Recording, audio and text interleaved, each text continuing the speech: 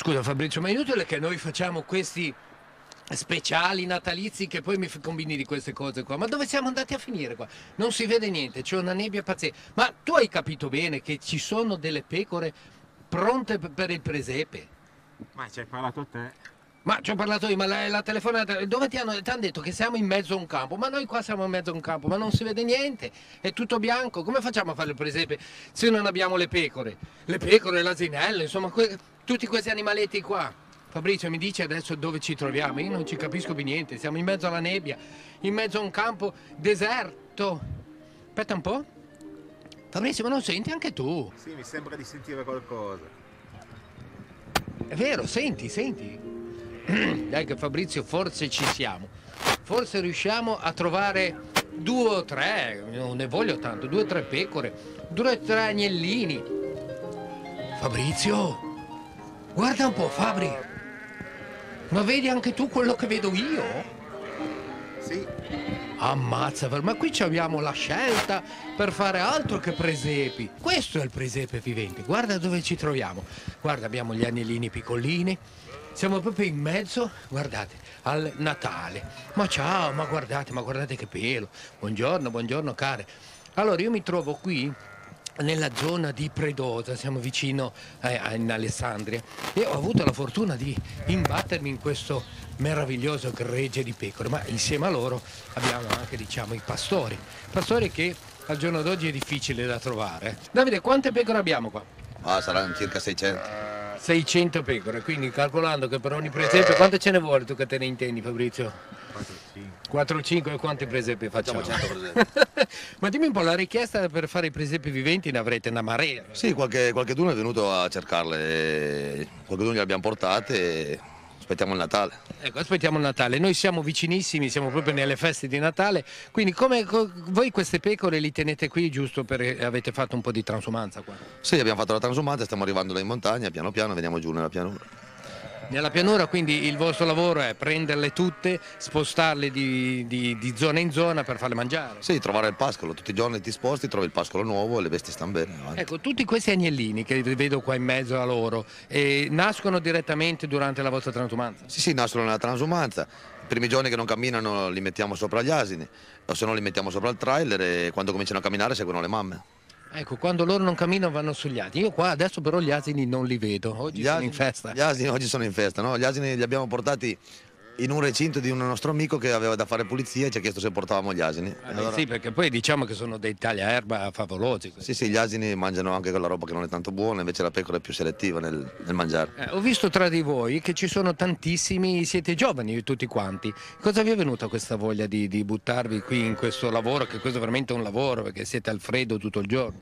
Sì, ma perché giovani, giovani per il motivo che persone anziane non reggono questa vita. Eh. Sempre freddo, sempre fuori, dalla mattina alla sera e, e niente, praticamente nel nostro paese eh, questo lavoro qua è normale, lo fanno tutti, lo fanno tanti, chi con le mucche, chi con le pecore, più le, più le mucche che le pecore però. Perché tu sei di?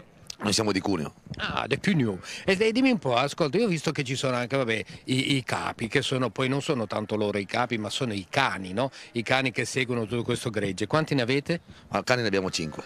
Cinque. E dove dovete vedere perché sono veramente serissimi. eh. Noi siamo arrivati, ci hanno un po' abbaiato, ma non ci interessavamo. Loro si curano solo le pecore. Loro curano le pecore a comando.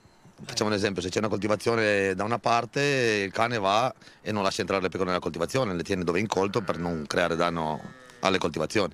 Non è facile, come fate a far capire al cane? Qui non devono entrare loro. Ma i cani già hanno l'istinto e poi imparano dal figlio, impara dalla mamma e avanti così, no? Però voi già insegnate al cane a seguire le pecore oppure già l'istinto loro quando sono grandi li seguono? Hanno l'istinto, vanno dietro, un po' hanno l'istinto, poi vanno dietro la mamma e imparano, un cane magari più vecchio, no?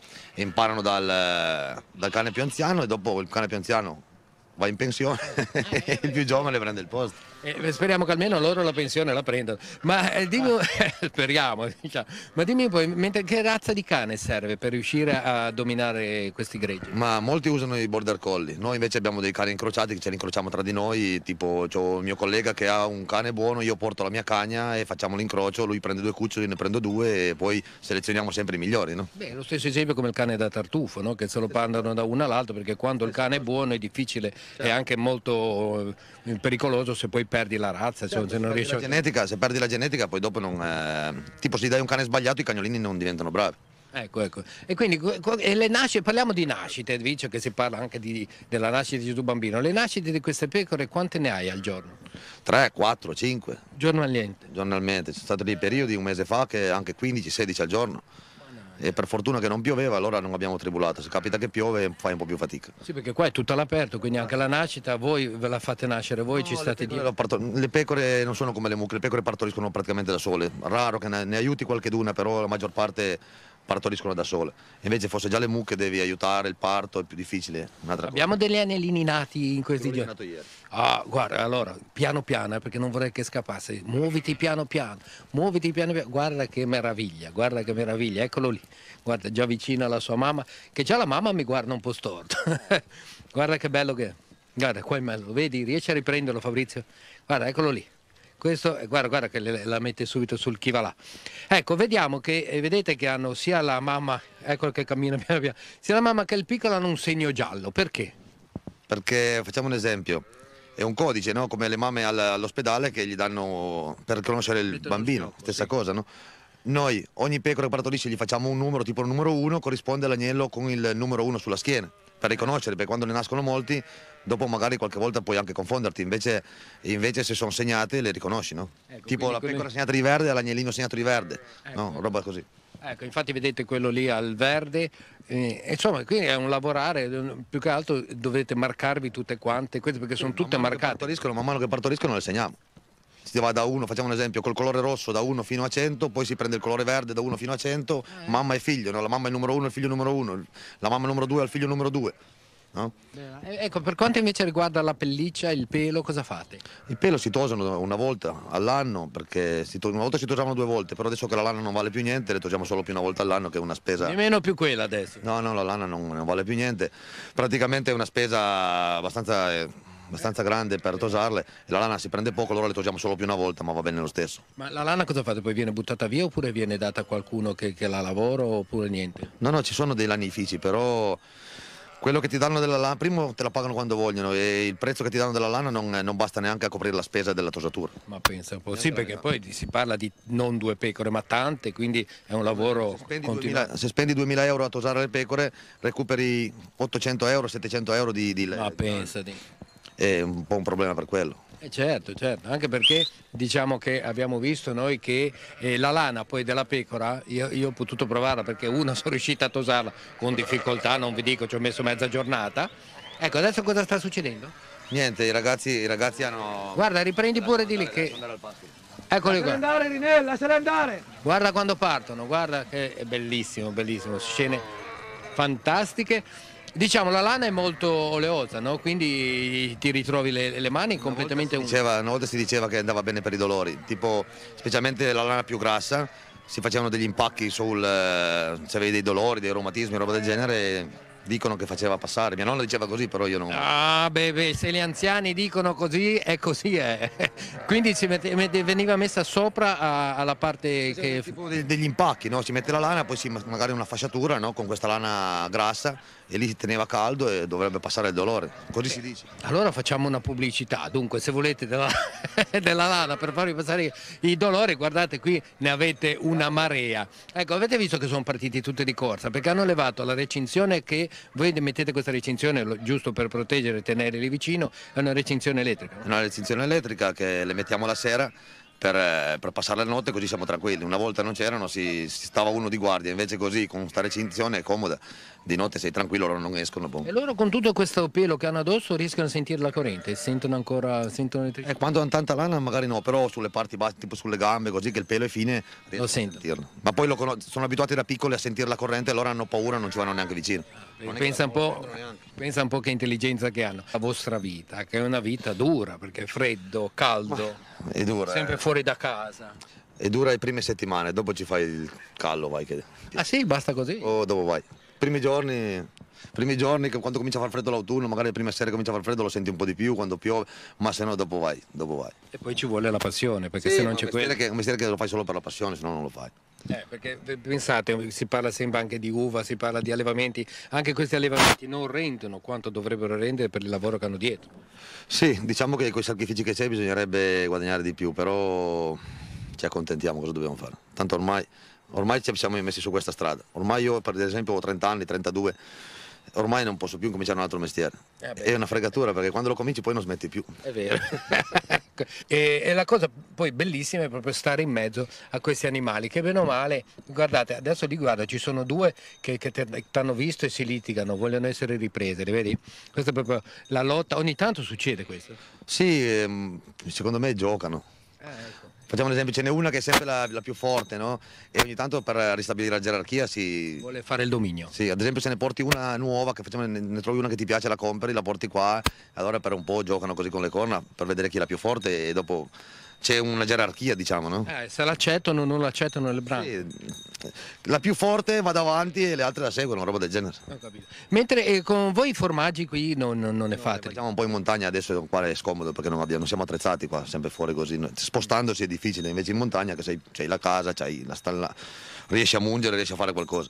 Perché dicono che il formaggio sia di pecora che di capra sia ottimo, soprattutto anche per la salute dei bambini. Sì, è ottimo, dicono che è ottimo e Per quanto riguarda il latte?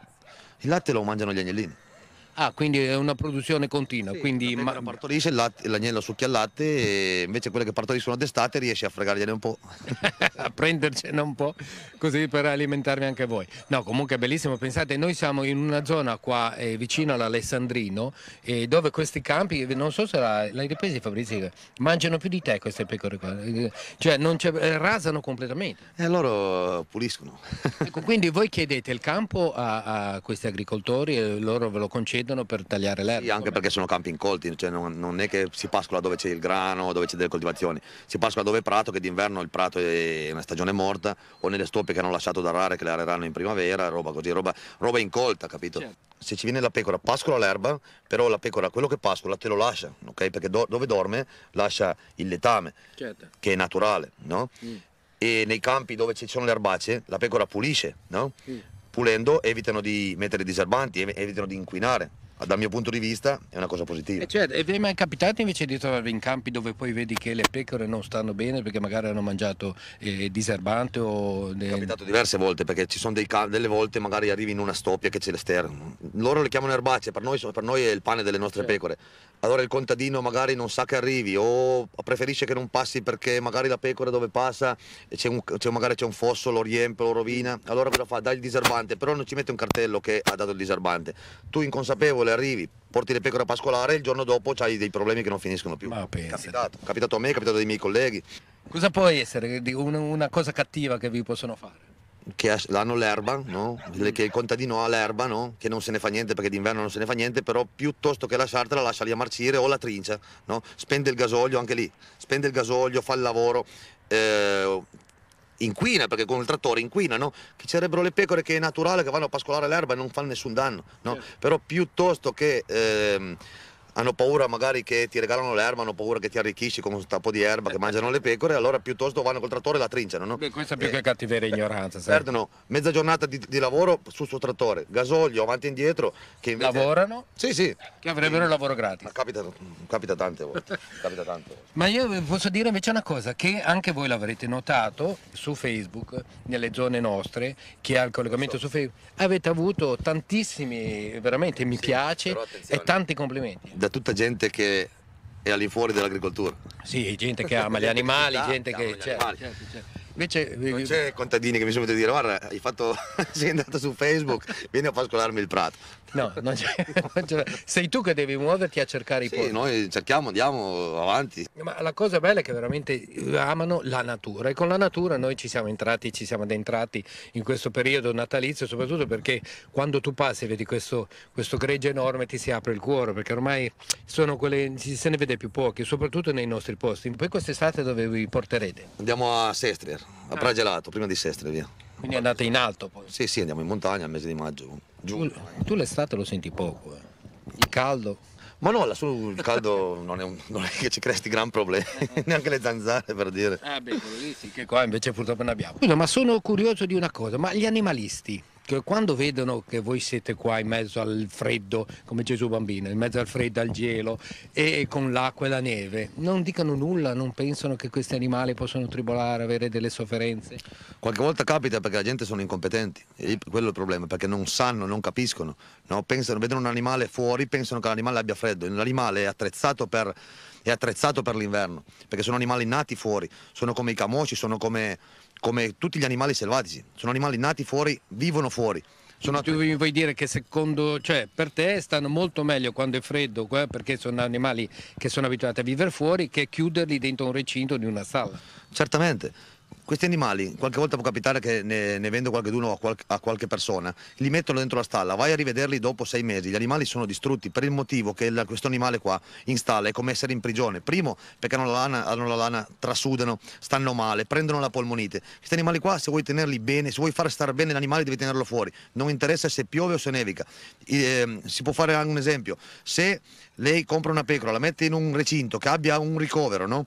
Quando piove, quando nevica, l'animale nel ricovero non lo vedrai mai, l'animale sta sempre, sempre fuori. fuori. Ecco. È vero o non è vero? È vero, è vero. Quindi, ecco, bene, ecco, così abbiamo avvertito anche gli animalisti. Se vedete questo gregge, perché ti è già capitato? Questo o anche un altro gregge, è sì. così. Questi animali sono abituati fuori, questi animali se li metti in stalla gli fai un dispiacere, come noi metterci in galera. Mm. Questi animali devono stare fuori sempre.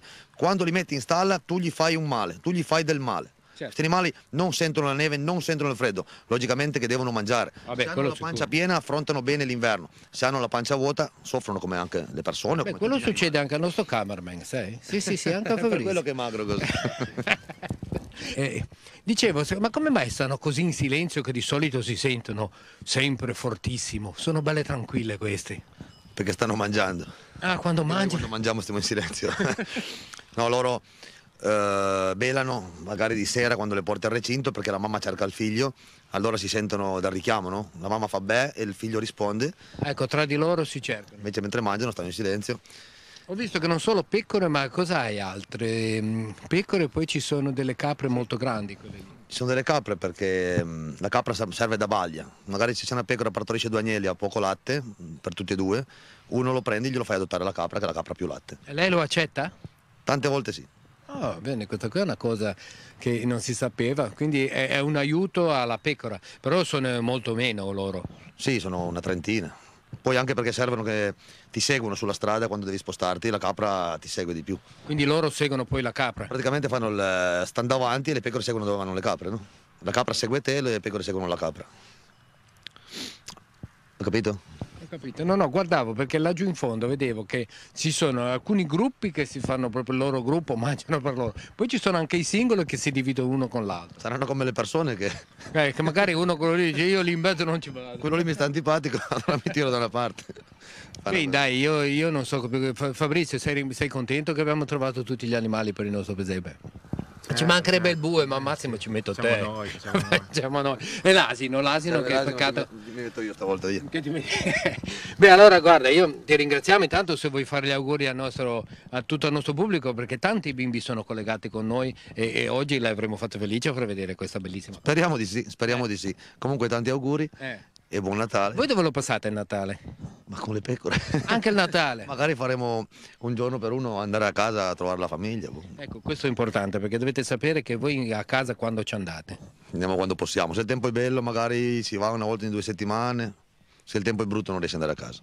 E quindi rimanete qua e la famiglia, niente, vi sentite grazie ai telefonini? Non c'erano i telefonini, era un problema, adesso con i telefonini ci si sente, non è... Eh. Importante che non capiti niente. Boh. È comunque un lavoro di, di, sacrificio. Sarà bello ma è sacrificante soprattutto per chi poi è a casa che aspetta. Sì, per carità, però è, è, ormai c'è l'abitudine, ormai è la normalità così, no? di non vedersi, di vedersi una volta ogni tanto e mm -hmm. non pesa più. Eh bene, dai. Allora, tanti auguri a tutti quanti voi e tanti auguri anche da parte di tutta la redazione. Auguri da, da, Fabrizio, il nostro cameraman che adesso è preso. Aveva un po' paura quando siamo arrivati perché dice questi cani mi azzannano. Invece loro con l'uomo non ci fanno nulla. Purtroppo no. Come purtroppo no? Bisognerebbe avere dei cani, dei cani più buoni da guardia. Perché al- delle volte ti spariscono anche delle pecore. Sì, è successo anche in grandi quantità. Ma dai. Sì, però succede perché delle volte non trovi oh, gente a lavorare, ora prendi qualcuno che non conosci, non sai che conoscenze ha e poi ti fanno qualche scherzetto. Può capitare. È capitato a diversi miei colleghi anche. Ecco, chiamiamolo scherzito. Quindi anche vedete che in tutti i campi c'è sempre il pro e c'è il contro. Qui è bello per la natura, però il contro che deve sempre avere un occhio a tutto il gregge perché può succedere anche questo. Fabrizio, dai, allora prendiamo a farci il nostro presepe, cosa dici? Ci prendiamo due o tre pecore e noi andiamo, con voi ci vediamo il prossimo servizio realizzato nei nostri studi per, eh, insomma, per passare un Natale insieme all'insegna del divertimento e dell'allegria, ma soprattutto per eh, tanti auguri di un buon Natale e un buon anno a tutti quelli che ci seguono per tutto l'anno a venire. Grazie, grazie a te, ciao, buon lavoro Arrivederci, alla prossima. e con voi ci vediamo al prossimo speciale. Ciao Fabrizio, andiamo, dai su, che dobbiamo fare il presepe, dai, brigati, su, andiamo.